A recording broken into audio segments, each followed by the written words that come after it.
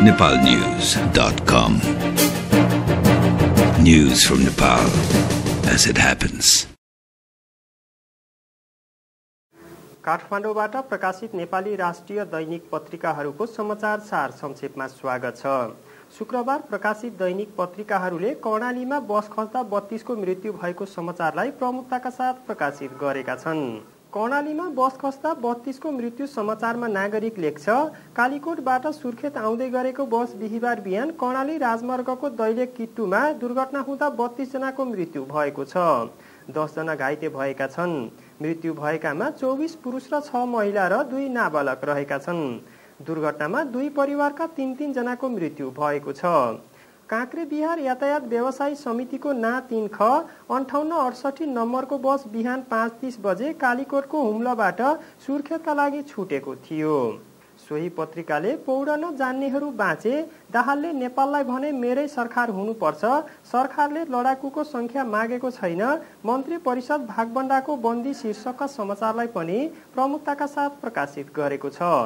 नियुक्ति विवादले मन्त्री परिषद बैठक बसेन समाचारमा गोर्खापत्र लेख्छ। महत्त्वपूर्ण निकायहरूका पदाधिकारी नियुक्ति सम्बन्धी सहमति कायम हुन नसक्दा बिहिबार डाकिएको मन्त्री परिषद बैठक बस्न सकेन। प्रधानमन्त्री कार्यालयमा अपरान्न डाकिएको बैठकमा अनौपचारिक छलफलपछि बिहिबार बस्ने गरी स्थगन गरिएको थियो। नेपाल राष्ट्र बैङ्कका गभर्नर लगायतका पदमा नियुक्त मेसिन रिडेबल पासपोर्ट छपाई लगायतका विषयमा छलफल र निर्णय गर्ने योजना रहेको अनौपचारिक छलफलपछि बाहिर निस्किएका मन्त्रीहरूले जानकारी दिनुभयो। साना पार्टी रिजाउने माओवादी प्रयास समाचारमा नेपाल समाचार पत्र लेख्छ आफ्नो नेतृत्वको सरकार बनाउने उद्देश्यले एकीकृत नेकपा माओवादीले संविधान सभामा रहेका साना दललाई सरकार विरुद्ध अविश्वास प्रस्ताव लैजान सहयोग गर्न आग्रह गरेको छ। सिंहदरबार स्थित पार्टीको संसदीय दलको कार्यालयमा बिहिबार बिहान बसेको एघार दल सहितको बैठकमा माओवादीले अविश्वासको प्रस्तावमा सहयोग गरी आफ्नो नेतृत्वको सरकारलाई समर्थन गर्न आग्रह गरेको हो। सोही पत्रिकाले संसदको हिउँदे अधिवेशन आह्वान शीर्षकको समाचारलाई पनि प्रमुखताका साथ प्रकाशित गरेको छ। प्रधानमन्त्री दाहाल भेटवार्ता समाचारमा कान्तिपुर लेख्छ माओवादी अध्यक्ष पुष्पकमल दाहालले प्रधानमन्त्री माधव कुमार नेपाललाई संयुक्त राष्ट्रिय सरकारका लागि बाटो खुला गरिदिन आग्रह गरेका छन्।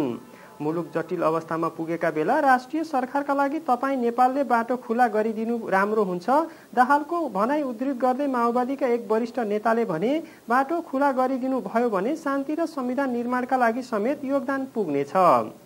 प्रधानमन्त्री नेपालले भने माओवादीले व्यवहार सुधारी सेना समायोजन र संविधान निर्माणमा लागे नयाँ वातावरण बन्न सक्ने बताएका थिए। सोही पत्रिकाले एकलौटी ठेक्का रद्द गर्ने तयारी शीर्षकको समाचारलाई पनि प्रमुखताका साथ प्रकाशित गरेको छ। झापा र सुनसरीमा चन्दा आतंक समाचारमा अन्नपूर्ण पोस्ट लेख्छ विभिन्न भूमिगत समूह एकीकृत नेकपा माओवादी र पुनर्गठित माओवादीले धम्क्याउँदै चन्दा माग्न थालेपछि सुनसरी र झापाका बासिन्दा त्रस्त बनेका छन्। पछिल्लो समयमा किराँत जनवादी वर्कर जनतान्त्रिक तराई मुक्ति मोर्चा लगायतका सशस्त्र समूह तथा एकीकृत माओवादी र मातृका यादवले नेतृत्व गरेको पुनर्गठित माओवादीका कार्यकर्ताले सर्वसाधारणसँग बलजफ्ती चन्दा माग्ने क्रम बढाएका छन्। सिन्धुलीमा चन्दा माग्नेको भिड अर्को समाचारमा सोही पत्रिका लेख्छ राजनीतिक दलका भातृ सङ्गठनका कार्यकर्ता विभिन्न कार्यक्रमका बाहनामा चन्दा सङ्कलन गर्न दैनिक कार्यालय आउन थालेपछि कर्मचारी आतंकित बनेका छन्। यसरी चन्दा सङ्कलन गर्न आउनेमा एकीकृत नेकपा माओवादी नेपाली काङ्ग्रेस र नेकपा एमालेका विद्यार्थी सङ्गठन अगाडि रहेका छन्। राष्ट्र बैङ्कले बैङ्कहरूलाई पुनर्कर्जा दिने समाचारमा कारोबार दैनिक लेख्छ। नेपाल राष्ट्र बैङ्कले बैङ्कहरूमा तरलता सङ्कुचन भएको ठहर गर्दै पच्चिस अर्ब रुपियाँ पुनर्कर्जा दिने भएको छ। बैङ्कको बिहिबार सम्पन्न आकस्मिक बोर्ड बैठक यो निर्कोलमा पुगेको हो।